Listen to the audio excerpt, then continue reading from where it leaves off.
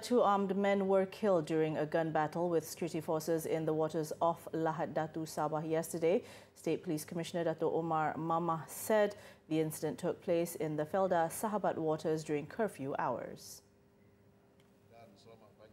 A police and Eastern Sabah Security Command ESSCOM enforcement team were patrolling the sea when they detected two suspicious pump boats at 11 p.m. about 10 nautical miles from the coast.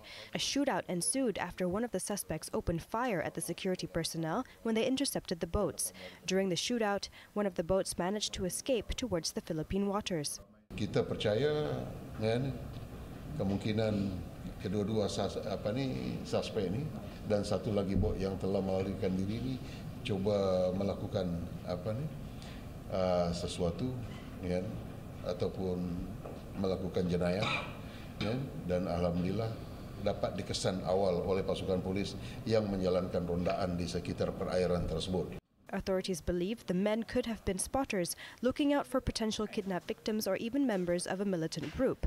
No identification documents were found on the bodies of the suspects who were in their 30s and 40s. The boat, together with the two bodies, were taken to the Lahad Datu Marine Base for further investigation.